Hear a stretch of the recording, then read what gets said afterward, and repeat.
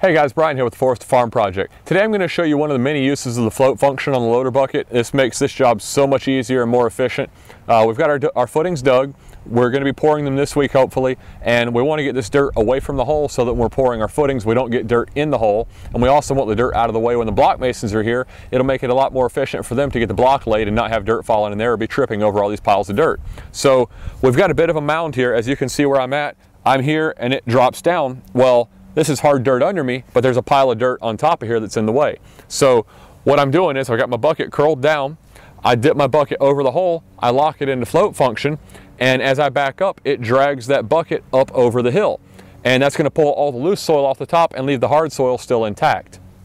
So makes it a lot easier on us. We're not having to fight and figure out, am I in the hard dirt or I'm still in the soft dirt? I took too much, I didn't take enough, I gotta go back. So this makes it a lot more efficient for us and then we can come back with a rake or just a, a shovel real quick and move stuff out of the way if we have to, but this is gonna get the majority of the dirt really quickly and that's what I'm gonna show you right now. As you can see up here on the loader, there is a diagram showing you what each movement of the joystick does. Pushing all the way forward gives you the float function. Okay, so your knob, as you know, you've got a range of motion. Well, when you hit that front all the way forward, you feel like you've hit a wall, push on through, that locks it into your float function. When you want to come out, pull it back and it unlocks. That's all there is to it.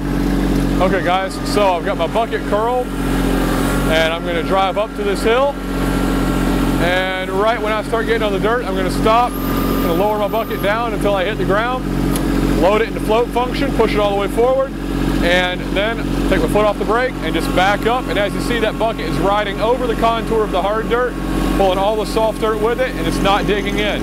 I'll pull it back to where I want it, pop it out of float function, and now I've got a nice, mostly smooth spot of dirt.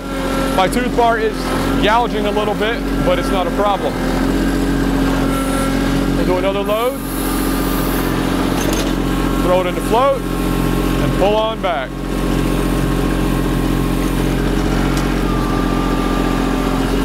Okay, I missed a spot in the middle. I'm gonna go back up and pull that out.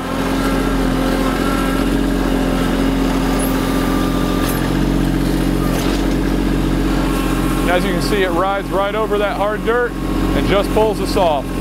Works really well. Extremely efficient way to do this.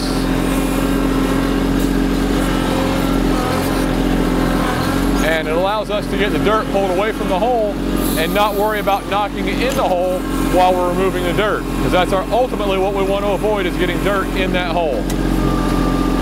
As you guys can see, this is a really efficient way to move dirt and it helps so much when you're on uneven terrain. You throw it in that float function and go. Huge time saver.